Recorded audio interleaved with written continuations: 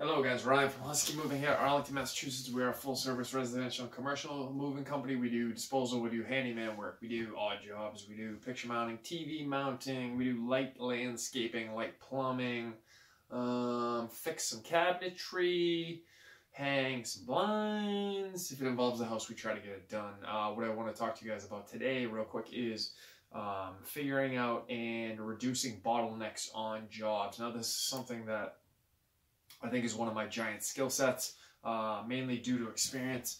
In any given scenario, uh, when you're on a job, when you have multiple people doing multiple things, trying to accomplish one goal, inherently there's going to be bottlenecks. Uh, what I want you guys to do is to try to figure out what those are, identify them first, and then uh, figure out what they're going to be, uh, or what you need to do, excuse me, to eliminate or reduce them. So what happens is, when you're on a job, um, let's just say a typical moving job, you're moving from one apartment to another apartment across the city, for example, let's say. Um, so what would be the bottlenecks in this situation? There's a thousand things that could happen, but the, the most common ones are elevators. Uh, elevators tend to be a bottleneck in that they're relatively slow. You can only get a small amount of stuff in there.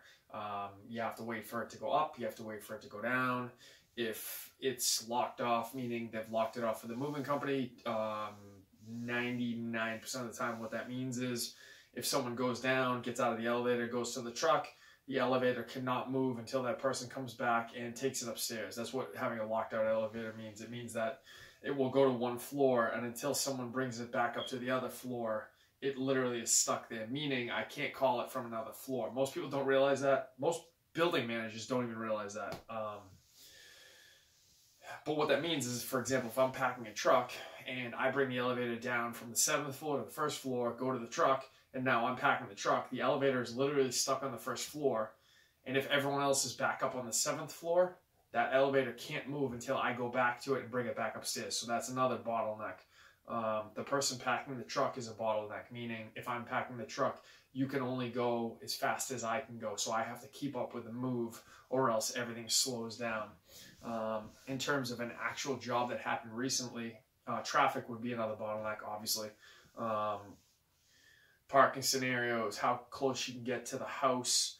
Um, a lot of times people, I don't really understand why, why people will do this, but people will um, park really close to their own house, even though they know that a giant moving truck needs to come in and park. And so that would be something where I would come in and I can't move efficiently because someone has blocked off the front of the house or is close to the front of the house and I can't move next to the curb or I can't move with the trees. There's a million different things that could happen. Um, another bottleneck would be the type of equipment we have, meaning if there's a giant walk within an apartment complex, like let's say, for example, we got to walk out a door and, and walk 400 feet to get to an elevator and then go downstairs and then walk another 100 feet to get to the truck. If we have a limited amount of wheels, then obviously that's going to be a bottleneck. Um, so for example, in that scenario, we go out with plenty of equipment, but if you didn't have plenty of equipment, let's say you had two guys there, but you only had one two-wheeler, then the one two-wheeler would be the bottleneck because obviously what that means is only one guy can be using the two-wheeler, so by default, the other guy would have to be carrying everything. So in that case, if that were the case, if that was what was going on, we would obviously have one guy running stuff to the truck, and then the other guy would be up in the apartment wrapping everything, disassembling everything, taking everything apart, getting it ready for the other guy to run into the truck. But you wouldn't have one guy carrying one box while another guy could wheel nine boxes because obviously those two things aren't even close to being um, the same volume of work. So it doesn't make sense for one guy to be carrying one box if another guy can wheel nine boxes. It makes the most sense for one guy to be wheeling nine boxes while the other guy is disassembling lamps, light bulbs, taking off lampshades, wrapping artwork, packing boxes, all of that stuff. Um, that would be another bottleneck. Um, in terms of a job that happened like the other day, and this is a small thing. It's not. It's none of this is like a big deal. Um, but we had a job the other day where we had to. Um, there were three separate trailers that needed to be packed with I don't know how many barriers there were. I want to say like I don't even know. Let's just say 200. 200 barriers spread out over three um, trailers. So like roughly, I don't know, what's that, 66 per ish. Um, and we have four guys doing it. Um, so in this particular instance, three of the guys came in from another moving company, and then I came in from my moving company. When I came in, I brought in two different four wheelers and two different two wheelers, and the other guys didn't show up with any equipment. So what that meant was they had to keep, carry each individual barrier by hand over a, a long walking walking distance. It wasn't close. We had to walk a long way with these barriers, and I had wheels with me. So what that meant was I could carry like it started off carrying like three at a time, but over time, as I got more comfortable carrying more and more, it wound up being like I could do like five, six, seven at a time to the one that they were doing. So obviously, I was working at a much higher efficiency level because I had the wheels um, than the guys were working at. And so what we started to do was I would go out, grab as many as I could, wheel them back, and then just very quickly dump them off of my cart, and then go back out into the field and grab more, and let the other guys who didn't have wheels pick them up and put them on the actual carts and put sorry onto the uh, trailers and get them situated on the trailers because it didn't make sense for me to stop what I was doing, take away the efficiency of having that four wheeler with me, which allowed us to carry five barriers at a time as opposed to one. It made the most sense for the guys who had only had the ability to do one barrier at a time to do the actual packing of the um, trailer and have me because I had the four wheeler with me go out into the field and just keep making trips back and forth with as many barriers as I could because I could do five for every one that they could carry. So it made the most sense for them to be putting them on the trailers. Does that make sense? I hope. Um, the other thing um, that was going on. And again, this is none of this is a big deal. It's just like something you realize as you get older how to speed things up.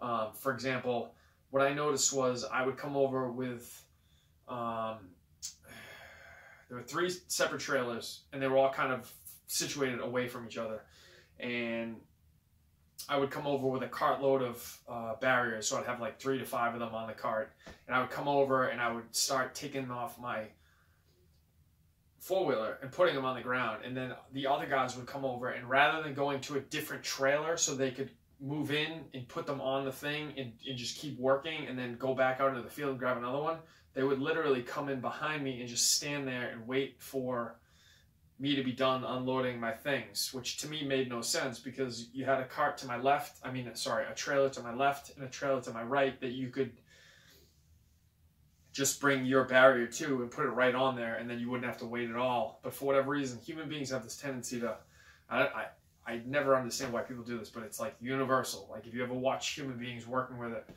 with each other, they have a tendency to, if one person goes to one area, the tendency is for everyone to go to that area. Even you could have four different rooms that need to be worked on, and if one person goes to the living room, the tendency is for all six people to go to the living room even though it's much more efficient for one person to go to the living room and one to go to the bedroom and one to go to the kitchen and one to go to the basement and all be working in ways that you're not bumping into each other, the tendency is human beings are like ants. They just go in the same direction as the person who went before them went, which if you actually watch out in the field, you'll notice it happening. It happens a lot. And if you can fight that tendency, you can actually greatly um, improve your efficiency. Um, so that would be something that happened on a job that we did recently. Um, so if you guys keep an eye out for the bottlenecks, whenever you start a job, you want to try to identify very quickly what are the things that are going to slow you down the most, what I call the bottlenecks, and then how can we break through those bottlenecks or minimize the effect of those bottlenecks so we can get this done as efficiently as humanly possible. Um, so you, another thing that we often do, at least on my crews, what we do is this is another example. When someone's moving into a house, um, let's say, for example, they moved into a brand new house and there's two people who have moved into the house, husband and wife. Um, more often than not, they're this is the first time they've ever been in that house where they actually owned it because they just gained possession of it that morning. So it's not like they've been hanging out here for like weeks just figuring out what you know where they want to put stuff. They, have only been here a couple times. They've been here to do a couple of walkthroughs during the real estate showings and blah blah blah. And now it's moving day, and now you're asking them where they where you want them to put their life's possessions, like all their life's possessions. Where do you want us to put them? So inevitably, what inevitably what winds up happening is there's a lot of butting heads between the husband and wife about where are we're going to put this, where are we're going to put this. There's a lot of they don't know where they want to put it because they haven't thought about it. They have to identify very quickly where everything they've ever purchased in their life they need a place for it. Where do you want the movers to put it? It tends to be very slow going because you'll be like, hey, I have your camping bags from downstairs. Where do you want them? And the husband's going, I don't know, just ask my wife. And the wife's going, I want them in the basement. And then you start walking in the basement, and the, and the wife goes, No, wait, I want them in the garage. And then you start walking into the garage. The point of the story is it tends to be, it takes a lot of time, and you have four different movers asking two people questions. The two people answering the questions don't move as quickly as the four people unpacking the truck. And so by default, there's a lot of inefficiencies there. The point of why I mentioned this is one of the ways you can get around that is you have one guy bringing a box while another guy's on the truck folding pads, while another guy's cleaning the floor of the truck, while another guy's cleaning up tape off the back end of the truck. And so you're bringing in boxes and asking questions in a manner that is keeping up with what the customer's minds can keep up with, as opposed to overwhelming them with four different movers, asking them where they want four different things, and having to wait for them to process the four different decisions that need to be made, all of which means that the movers are sitting there holding boxes in their hands and just sitting there waiting for an answer. Highly inefficient. Sounds like a little thing, believe it or not, it really speeds things up. Um, another situation, and this happens to me on jobs all the time, is for example, if we have a large sleeper sofa let's just say we're carrying a sleeper sofa from the truck up to the third floor of an apartment complex and there's no elevator, there's stairs. So I know a couple things. We're going to be blocking the stairwell. It's going to take a long time. There's a chance we might get stuck at various points in certain parts of the stairwell. So what does that mean? What that means is that stairwell is now shut off. Anyone who comes in behind me or goes in in front of me is now not going to be able to get through that stairwell easily, efficiently. So there's absolutely no point in having someone go up to the apartment and then have us go up behind them, or someone come in behind us while we're carrying the couch and just stand there waiting for us to maneuver around every corner going three flights of stairs. It makes no sense whatsoever. So what we'll do is, for example, I would say, hey, we're gonna go grab the couch. We're gonna bring it up to the third floor. I want you guys to clean the truck. I want you to do pet fold the pads clean up the tools, do anything you can on this truck or outside of this truck to get us closer to our goal. But I don't want you bringing anything upstairs until you get word from me that we're out of the hallway, we're out of the um, stairwell. And so what that'll do is that all those tasks need to get done anyways. We need to clean the truck, we need to fold the pads, we need to get the tools situated. It all needs to be done before we can leave anyway. So it doesn't matter when we do it. The goal is we just do it in the most efficient manner possible. And in that moment, it doesn't make any sense to have Joey standing on the stairwell behind me, holding two boxes, waiting for me to go step by step up with a sleeper sofa. It makes the most sense for him to be down in the truck, folding the pads that need to be folded anyway, while I'm in the stairwell blocking the stairwell. Otherwise, it's just inefficient. We're wasting time. We're causing the customer to spend more money than they need to, and we're prolonging our day longer than it needs to be. So if you guys can think about things like this on jobs, you'll really speed up your efficiency, and the, your customers theoretically will be a lot more happy with you because on any given job you have X amount of things that need to be done. So the goal is you get those X amount of things done in the shortest amount of time humanly possible. That's the goal. Guys, if you found any value in this, please like and subscribe. As always, if you need to get a hold of me, info at huskymoving.com is the email address, and our website is huskymoving.com. Thank you so much for listening.